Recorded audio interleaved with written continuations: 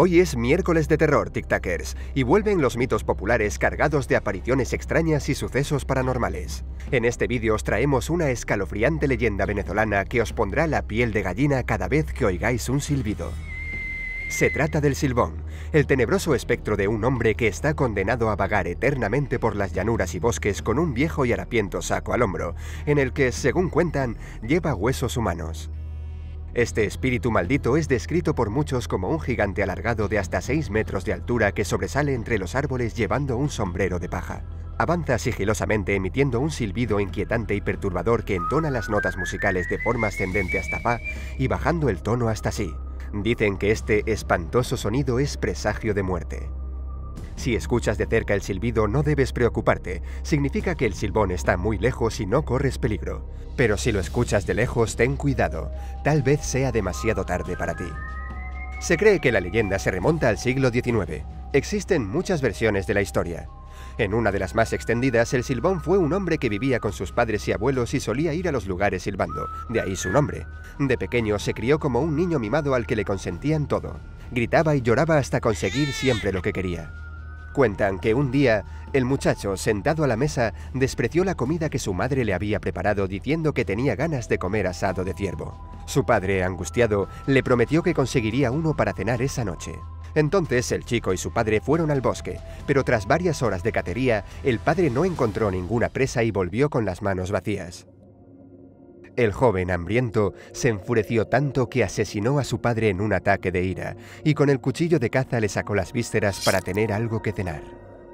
Al llegar a casa puso las entrañas sobre la mesa y le pidió a su madre que las cocinara.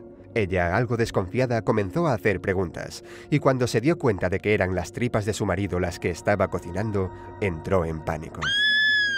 El abuelo, que se había enterado del parricidio, decidió enseñarle una lección a su malvado nieto. Lo amarró a un árbol y golpeó su espalda a latigazos hasta que la sangre brotó en abundancia. Después echó limón y ají sobre las heridas para que sintiera el insoportable ardor.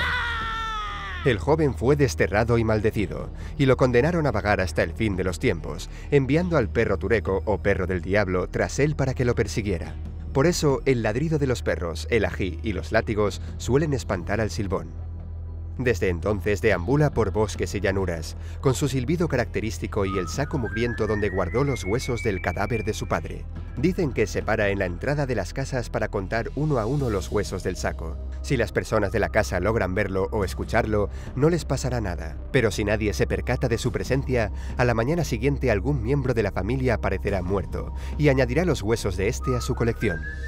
A veces se aparece en forma de sombra para atacar a los borrachos y mujeriegos. A los primeros les succiona el aguardiente que tienen en el cuerpo por el ombligo y a los mujeriegos los despedaza, arrancándoles los huesos.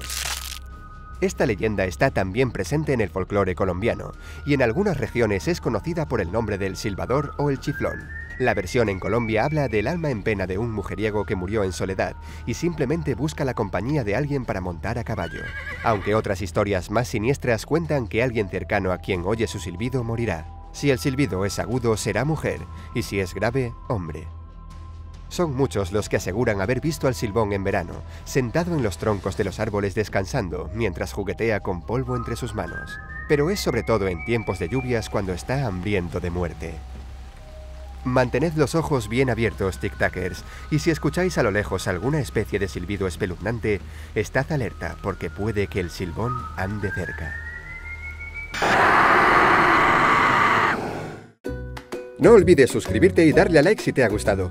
Y también puedes seguirnos en nuestras redes sociales, Facebook, Twitter e Instagram. Hasta el próximo vídeo.